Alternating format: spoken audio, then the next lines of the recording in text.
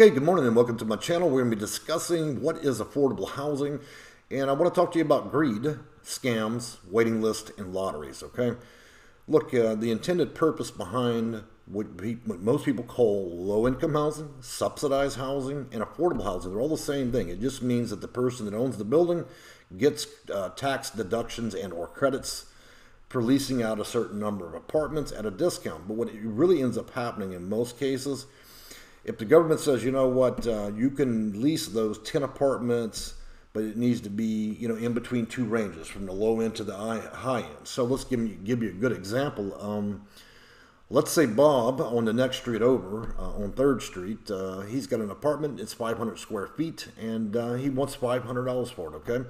So he's got tax credits, and people can come applying for that apartment, and it's at a discount, okay? And now go over just one street and you got Sally. Now, Sally's got the same apartment at 500 square feet, same amenities, almost the same exact apartment, okay?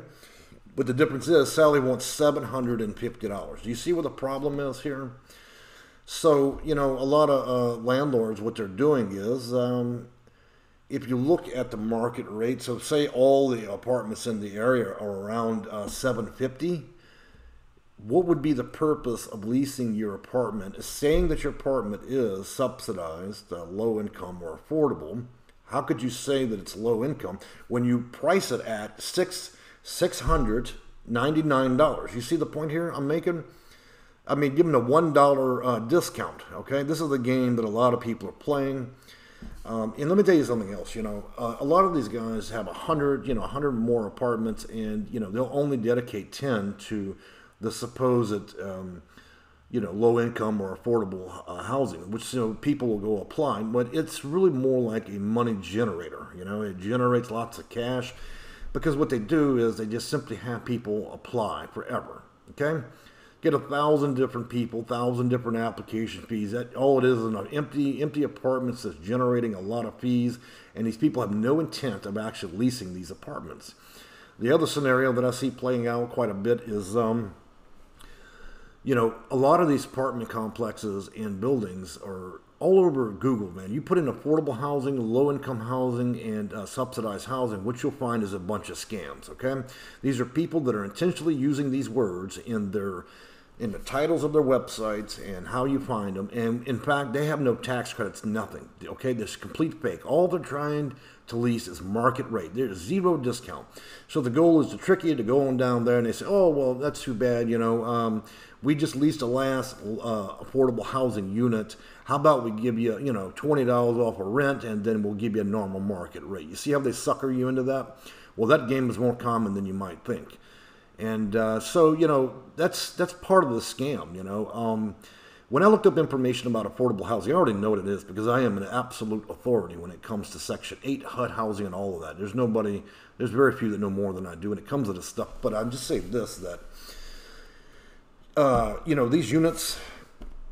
So you're out there, you're looking for information on the internet. Most of these websites, they're all spun. So they're stealing information from one site, website to the next, and they're trying to inform and tell you what an affordable apartment housing is. Okay, and a lot of these articles are complete garbage. They're nowhere near the truth. They're pulling excerpts from HUD housing. They're pulling excerpts from COC housing, and so these are spun articles either by robots or people that just simply want to make ad revenue. So you have a lot of bullshit websites and then on top of that, you filter in thousands of apartment complexes and buildings that are just straight up blind. They're not really subsidized. They don't have one single tax credit to give, okay? And then moves on to, you know, these waiting list and lottery. That's another really good hustle. I we're talking about Third Street hustle there. Let me explain to you why, okay? When you hear the words lottery and you hear the words uh, waiting list, your first thing your mind navigates to is the fact that You've heard that a lot with HUD housing, okay? But make no mistake, these people are making their own waiting lists and their own lotteries, okay? These are not, they're not governed or oh, there's no oversight by the government at all, at all, okay? This is some private owner sitting in the office inventing his own rules to his own waiting list. He's inventing his own little uh, bingo lottery with people. And you know, the real goal of it is let's run a thousand people through it, okay? Let's run a thousand applications and we'll look for that 1% person. The person that's got a 900 credit score that works, you know, for the U.S. government, has never had an eviction, they have the perfect life, and then after we've made a few thousand dollars off of all the applications of people that have no chance, we'll give it to somebody that has incredible credit and incredible income, and then we'll lease that apartment. Do you see the problem with that? So the reality is, these you know these crazy lotteries and waiting lists have nothing to do with HUD. There's no federal oversight. These are crazy people sitting in an office inventing a lottery because they're they're depending on your mind to to to somehow translate that into having to something to do with HUD, when in fact it doesn't have shit to do with that. Okay. So let me tell you something, man. When you're out there and you're dealing and you're looking on the internet, you've got to. The only way you're going to know who's real and who's fake, and most of it is just fake, is for you to go in person, walk in the office, and say, "Look, under federal law, you've got to disclose whether or not you have you have low uh, low. This is a low income apartment that receives tax credits, do you actually physically have a unit abatable? Okay." And then they have to disclose that. There's not, you know, they're, they're playing too many games. I mean, 99.9% of the low income subsidized apartments, affordable apartments on the market and through all these websites, all of it, almost all of it's garbage. All the articles that I've seen written about what um, affordable housing is is so far from reality that I think that uh, people are just, you know, they're just stealing and robbing each other's articles and I, it took me 30 minutes of reading through articles to find even one of them that was even remotely close to what actually is what affordable housing is, okay? I mean, it's just, it's got, it's grown out of control, okay? So you have all these people just pretending. So my advice to a lot of you folks is go to Section 8 Go, man, and look there and do your due diligence when you're out there looking for uh, real uh, low-income housing, affordable housing, and subsidized housing because what you're going to end up is with a shady landlord with a crazy waiting list with whatever rules he invents or she invents, and with some ridiculous lottery that's completely rigged, only to accept people with the most pristine credit. Let me tell you something. If you're low income, if this is supposed to be for low income people, do you think low income people have a 900 credit score? Do you think that they're making 120,000 a year?